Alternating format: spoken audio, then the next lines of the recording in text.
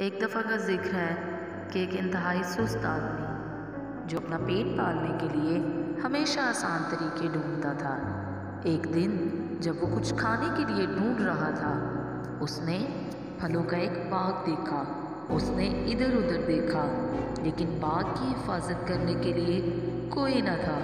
वो भागता हुआ बाग में चला गया, लेकिन जैसे ही वो दरख्त पर चढ़ने लगा उसने बाग के मालिक को अपनी तरफ़ आते हुए देखा।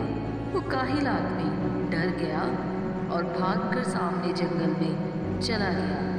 अचानक उसकी नज़र जंगल में मौजूद एक लूमड़ी पर पड़ी। वो ये देखकर हैरान रह गया कि उस लूमड़ी की सिर्फ़ दो टांगें थी, लेकिन फिर भी वो बड़े इतमान के साथ उन पर रींग रही थी। उसने सोचा लोमड़ी इस हालत में कैसे ज़िंदा रह सकती है?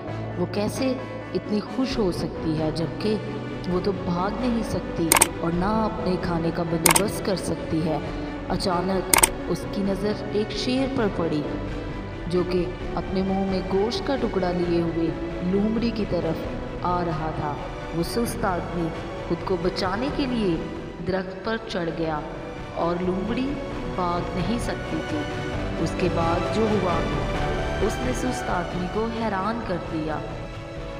शेर ने गोश्त का टुकड़ा लूमड़ी के आगे फेंक दिया और वो वहाँ से चल दिया। सुस्त आदमी ये देखकर हैरान रह गया। और सोचने लगा कि जिस तरह से खुदा ने इस लूमड़ी के खाने का प्लान कर रखा है, उसने ज़रूर मेरे लिए भी कुछ अच्छा प्लान सोच रखा है। सो वो ये सोचते हुए एक जगह पर बैठ गया और इंतज़ार करने लगा कि कोई उसके लिए भी खाना लेकर आ रहा होगा। उसको इंतज़ार करते हुए दो दिन गुजर गए, लेकिन जब उसको बहुत ज़्यादा भूख लगने लगी तो वो बेचैन होने लगा।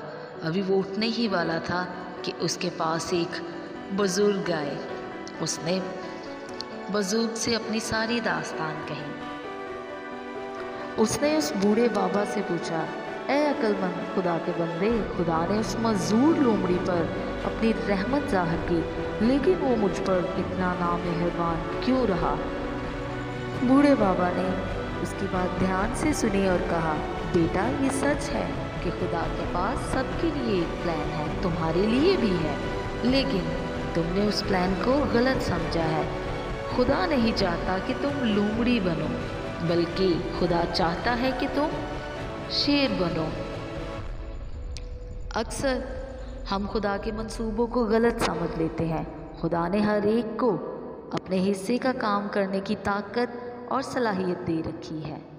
So moral of the story is चीज़ों को हमेशा मस्बत अंदाज में देखना सीखें और अपने आप को एक मज़बूत पोजीशन में देखें, ज़रूरतमंदों की मदद करें, आसान इंतखब करने की बजाय सही इंतखब करें। फिर ही खुदा, आप खुदा के प्लान्स अपने लिए जान पाएँगे। If you like my video please subscribe my channel and press the bell icon bye bye